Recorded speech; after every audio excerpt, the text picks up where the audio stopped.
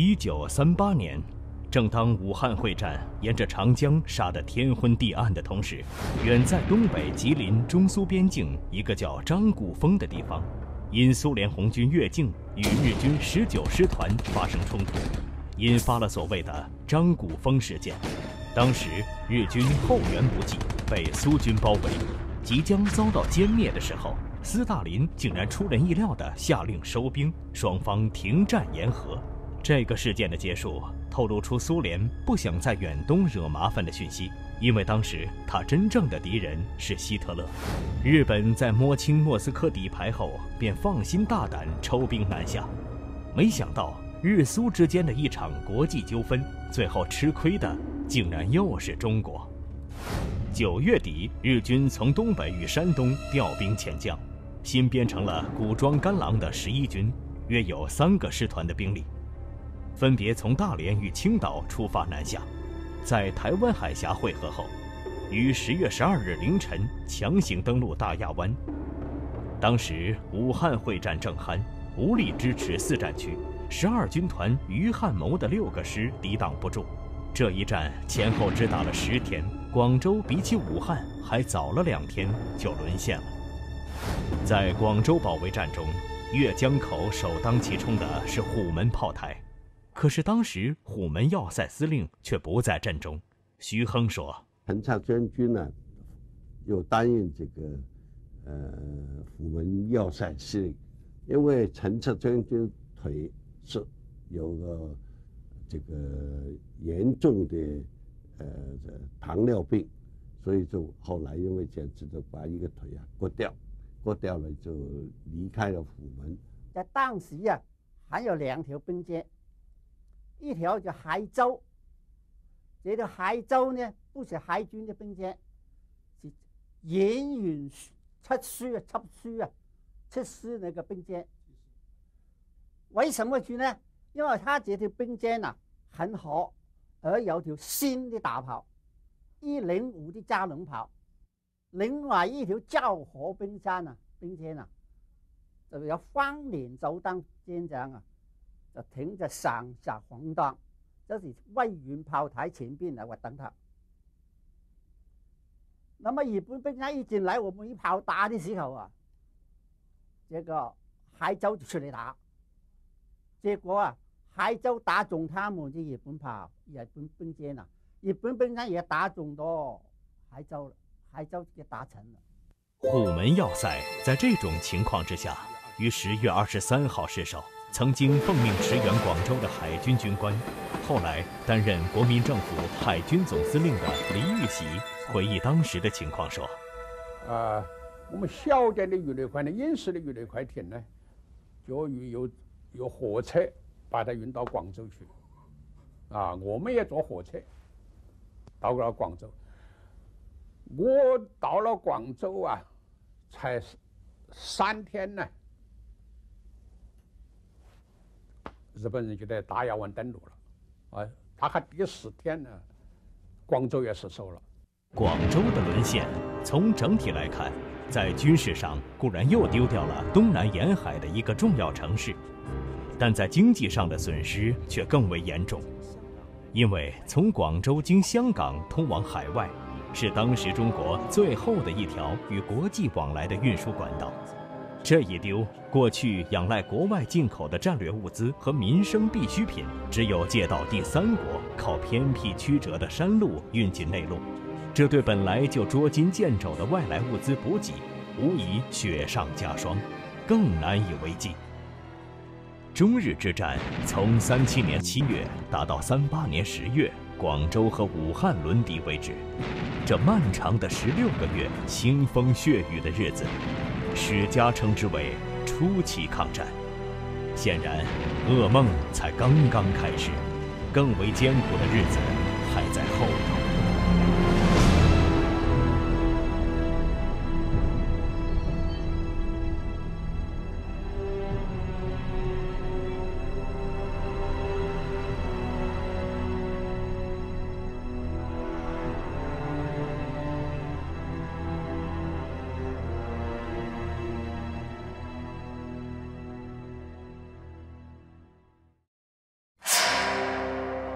一九三八年武汉会战后，十一月二十五日，军委会委员长在南岳召开军事会议，检讨从七七到武汉撤退、岳阳沦陷为止第一阶段作战的得失。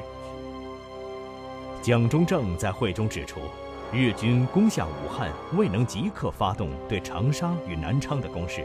不是他们的战略上没有算到这一招，而是力量已用尽。由于这一事实，可以证明敌人绝不能消灭我们，而反正我们可以击溃敌人的侵略。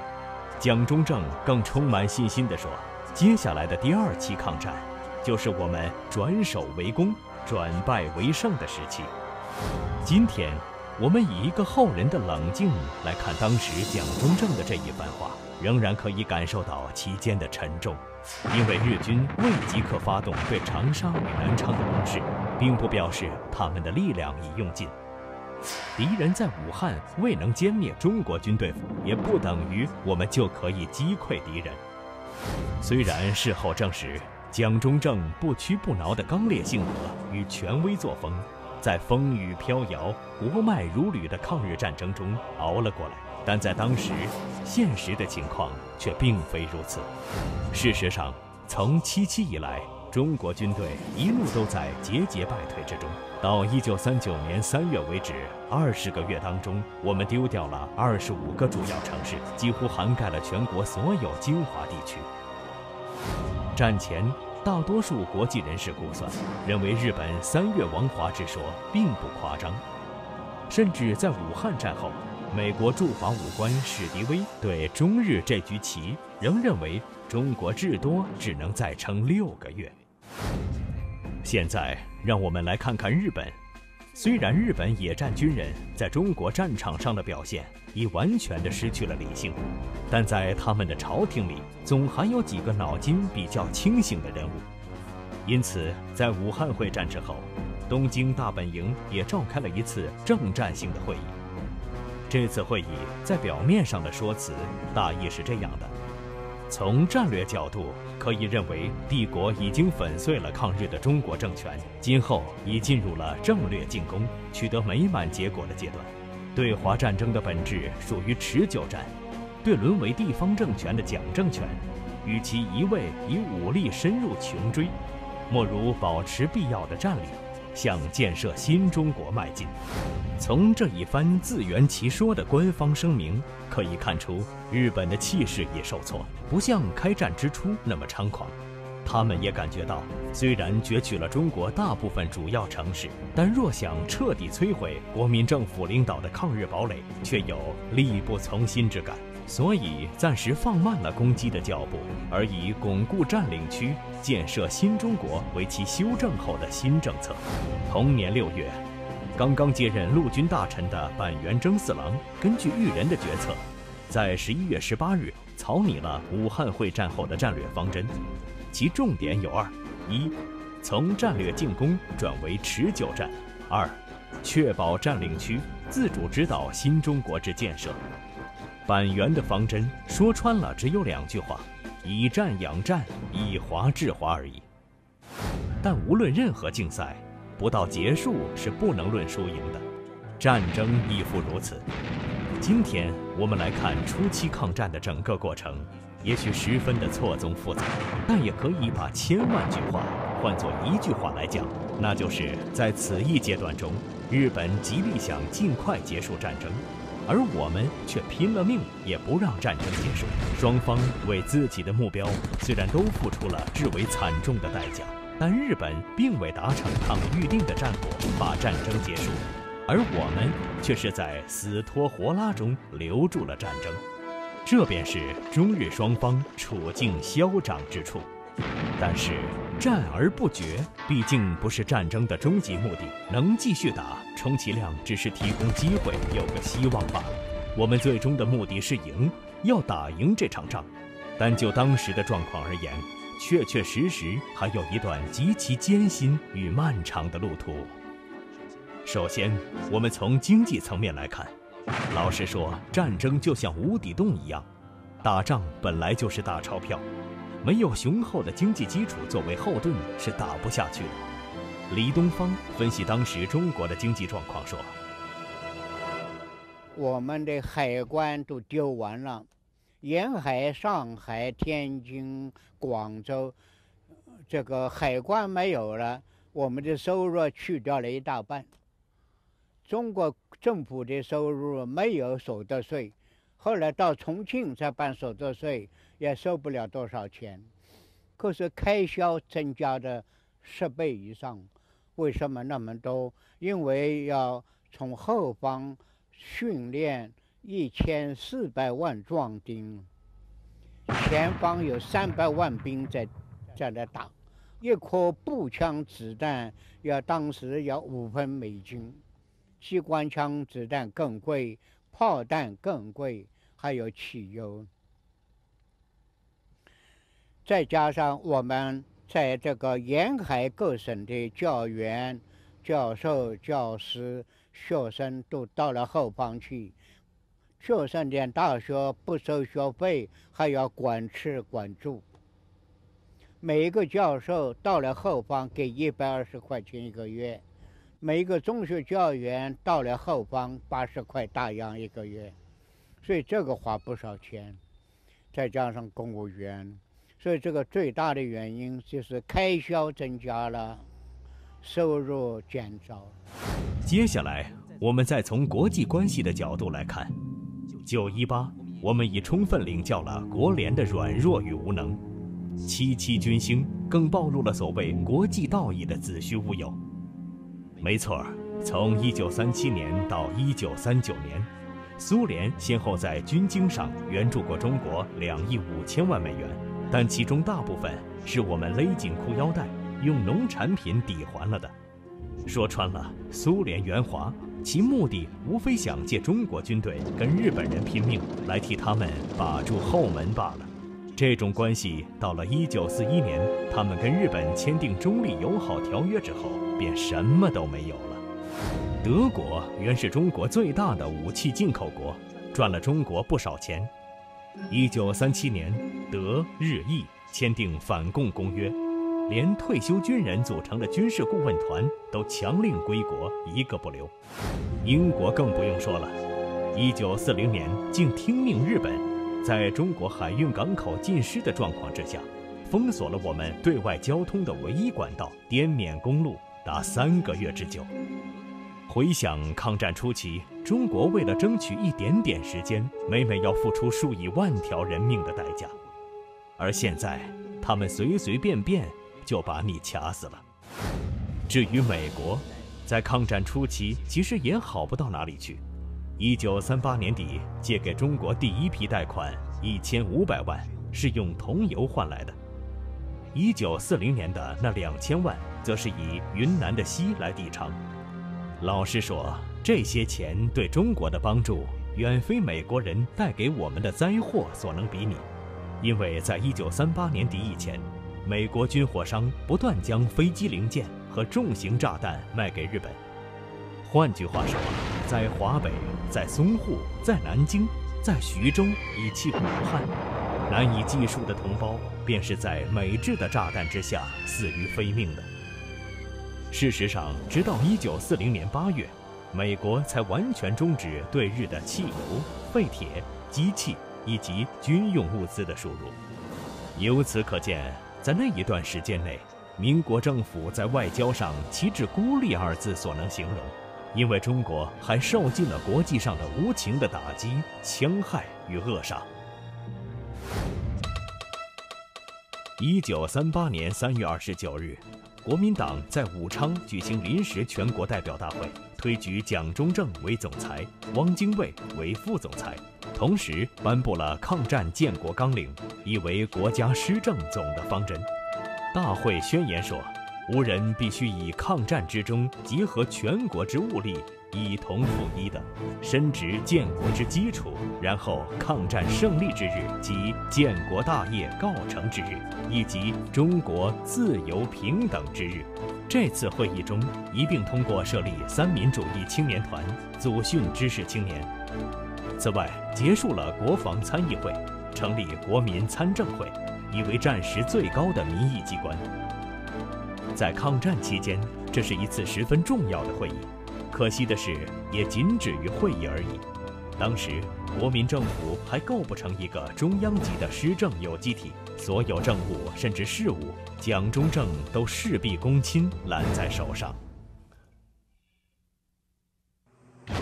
中国在这场悬殊的战争中鏖战了一年又四个月，现在终于喘口气，进入中期抗战的阶段。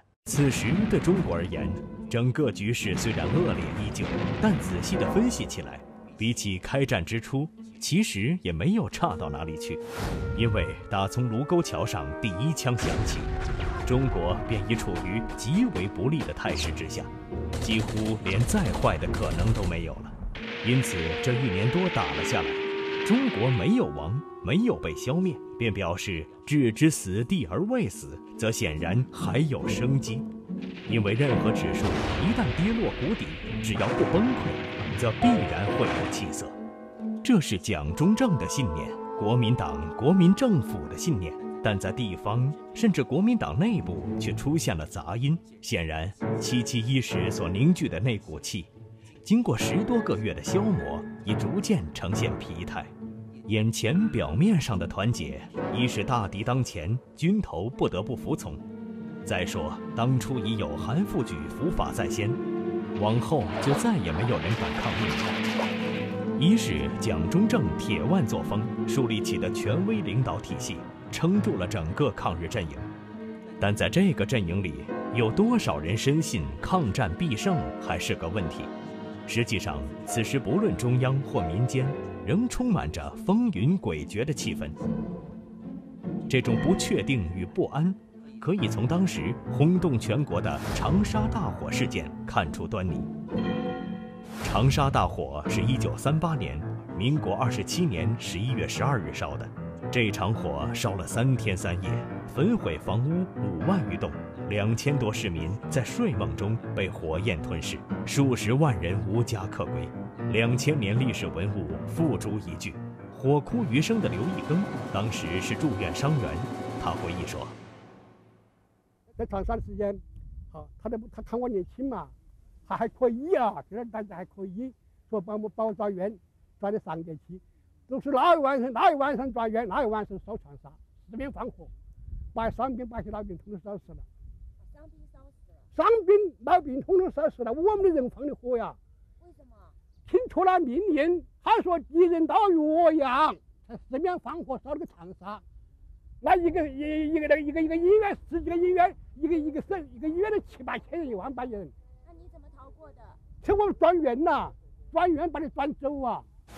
根据事后查证，这一场火确实是人为的。原来在抗战期间，当我军撤守时，总要把一个城镇中的重要的设施予以破坏焚毁，以免资敌。这便是所谓的焦土政策。武汉沦陷后。显然，长沙已成为日军的下一个攻击目标。于是，当时湖南省主席张治中便奉命积极展开焚城计划，筹组放火队。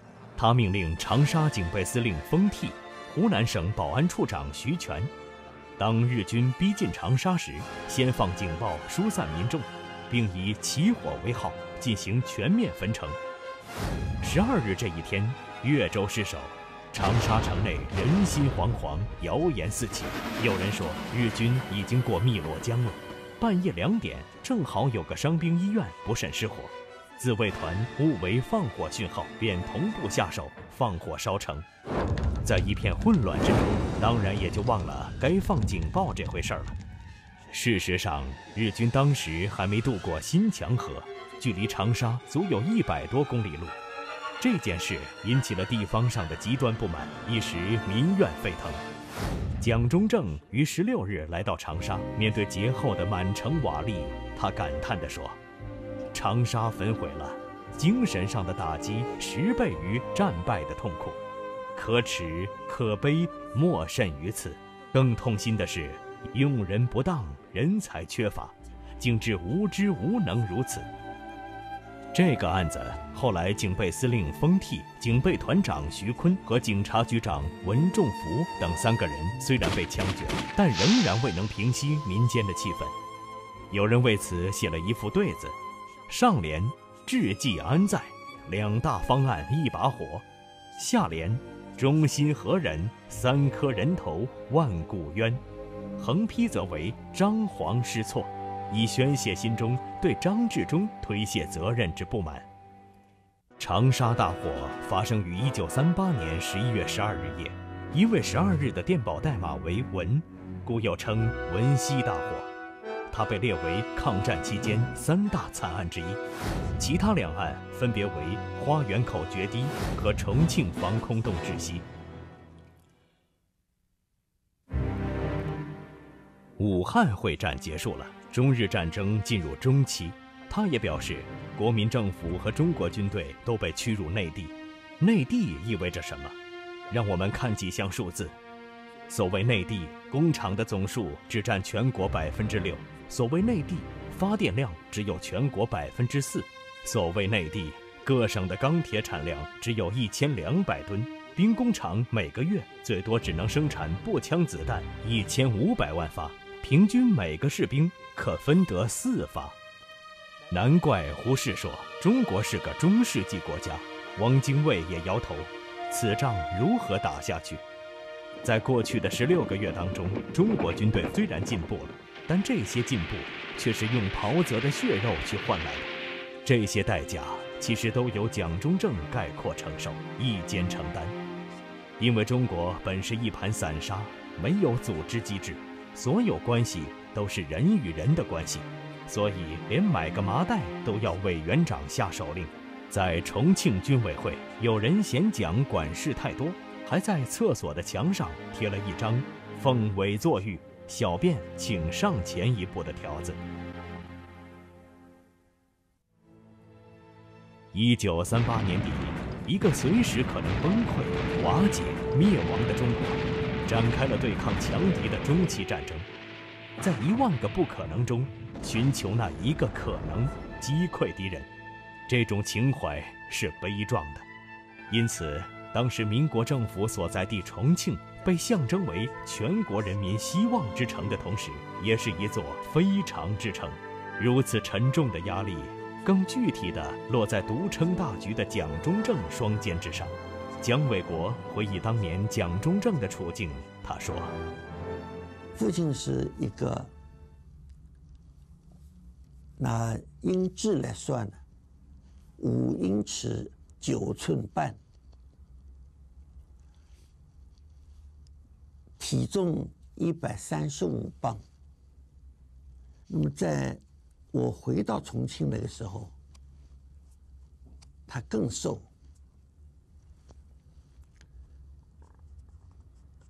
非常苦闷的时候特别是他在洗澡的时候我经常听到他大叫